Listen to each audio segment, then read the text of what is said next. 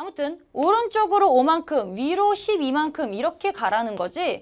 12만큼 이게 5필에 여기가 P고 여기가 O다. 그냥 이 내용 아니에요? 여기 문제에서 말하는 게 이 내용이고 가게 크기를 세타라고 하자.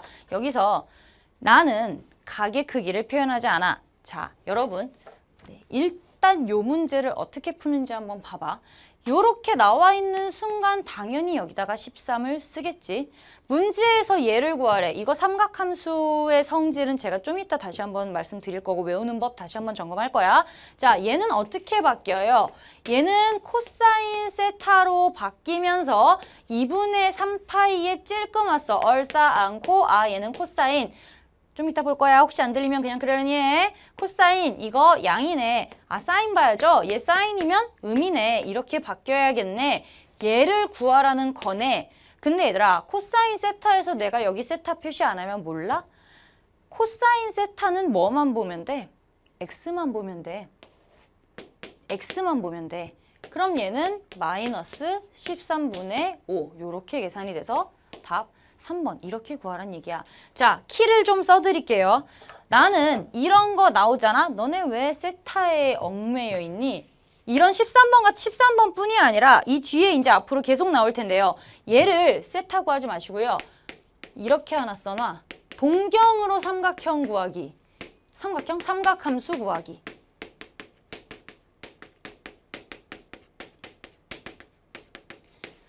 자, 얘들아. 너네 내가 왜 이 얘기를 하냐면 정말 애들이 막 모여가지고 이제 공부 좀 한다는 친구들 모여가지고 야 세타 그래서 여기잖아. 세타가 여기 이렇게 되는 거 아니야? 이러면서 막 수학적인 얘기를 해.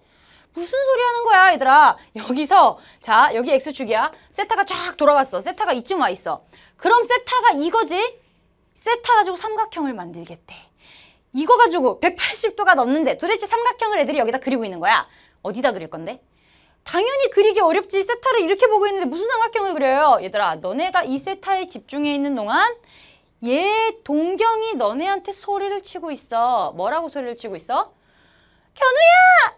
나도 어쩔 수 없는 여자인가 봐 너네 그거 모르지? 너네 그거 모르지? 너네 엽기적인 그녀 모르니 혹시?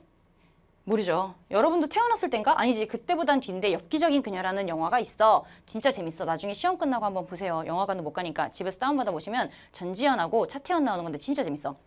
거기서 그래. 현우야! 나도 어쩔 수 없는 여자인가 봐. 하지만 동경은 너희에게 그 얘기는 하지 않을 거고 동경은 너희에게 뭐라 그러니?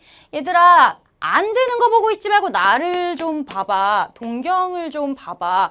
왜냐면 백날 니네가 이거 보고 있어봤자 180도 넘는 애를 가지고 무슨 삼각형을 만드냐.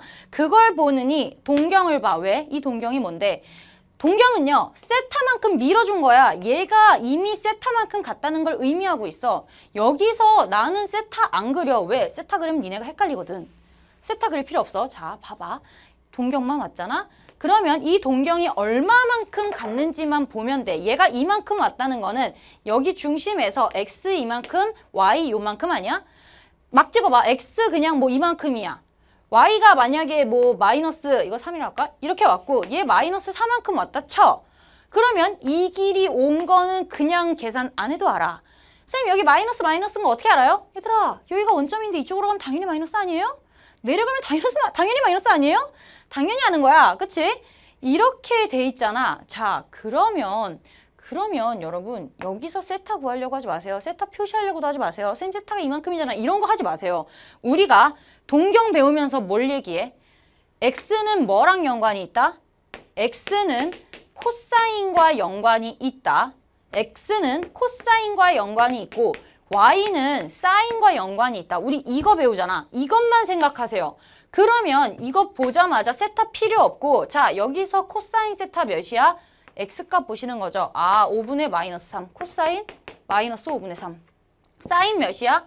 이거죠. 5분의 y값 마이너스 4 5분의 마이너스 4 그냥 이렇게 계산하시면 돼요. 세타 필요 없다는 얘기야. 너네 세타 잡으려면 또 이렇게 해서 선생님 삼각형 어디다 그려요? 이렇게 그려요? 저렇게 그려요? 그런 거 하지 마세요. 나는 오늘 세타 안 그려 얘들아. 시험 볼 때 세타 그릴 필요 없어. 그냥 아 이만큼 동경 뭐에 집중해라? 동경에 집중해라. 동경만 보시면 x값, y값만 찾으시면 다 나와. 코사인. 오케이. 이렇게 보시면 됩니다. 됐어요? 자 됐죠? 어, 여기서 여러분들 하나만 중요한 거 쓰자면 뭐다? 이거 세타 표시에 제발 집착하지 마. 이거 표시 안 해도 돼. 이거 표시 안 하고 충분히 풀 수 있어. 됐어요. 제발 동경에 집중해보자. 알았지? 자, 똑같아. 이거 나왔지? 어디야?